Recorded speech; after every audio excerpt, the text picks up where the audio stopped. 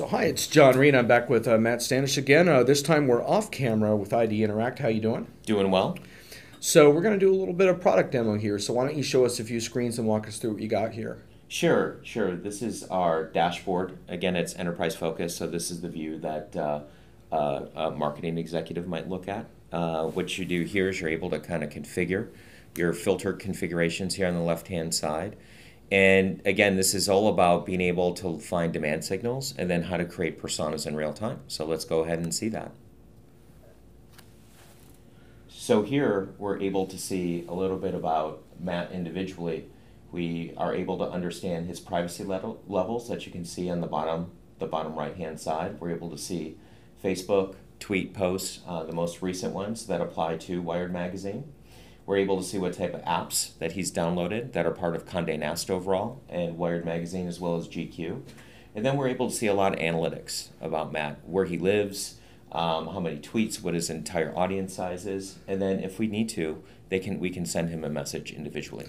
So if Matt read an article in Wired that really pissed him off, that would sh- and he had done it that day, yeah. and posted a tweet, you would see that right, right there on the right. You, you or would. or if he saw something really cool that excited him about something he read in Wired, he would post that as well. That's exactly right. Gotcha. And Wired Magazine, if he was talking about a Cadillac, um, certainly could go ahead and share that with their advertiser as well for additional analytics. Gotcha. And and and to what extent is is he opted into that? To an extent, like that's all got sorted. So Yeah, it's it's opted in. Um, Okay. A big part of our platform uh, Oh, cool. respects people's privacy. Um, so what we do is we um, authenticate against the OAuth 2.0 protocols, and we're only able to show what that protocol gives us through the social channels. Which makes a lot of sense to me because I don't really like spam, but I actually don't mind when I get targeted stuff that really resonates with my interests. Very different. Especially if it's relevant and it's geographical, right? Exactly. Yeah. So show us a little more. We're also able to look at entire market segments. So, for example, if um, if a certain topic was resonating, what you could go do is search by market segment and find, for example, here that twelve thousand four hundred twenty-seven people are interested in a similar topic, um, or maybe talking about a certain article. You can see obviously here where they are, uh, where they're located across the country. You could see a little bit of analytics about them, demographics, market segmentation, um, as well as gender, and then choose, depending upon what the topic is, to send all 12,000 people a particular message that might be very relevant for them. And these numbers are all real time updated as well. These numbers are Yeah. all real time, depending upon how quickly that protocol from Twitter, Facebook, Google Plus can right. get back to us. Can get back right. And and so you might click on one based on region or interest or It, exactly right. Okay. You can segment or filter by interest. You can filter or segment um, based upon if um, your customer is wired or GQ in this instance, and based upon their propensity to buy or maybe even their viral score. And we we one of the things that we do within SAP HANA is we um, calculate people's viral score very differently than a Klout score. Everything's very focused on whether or not that user has a propensity to buy your product or solution you're selling. Another area that's very interesting is this is our manage offers campaign page, where um, in, in my previous life we always wanted to segment finding your most loyal customers, being able to reduce churn if you're in the subscription business, right? And being able to entice future customers or being able to engage current subscribers of yours.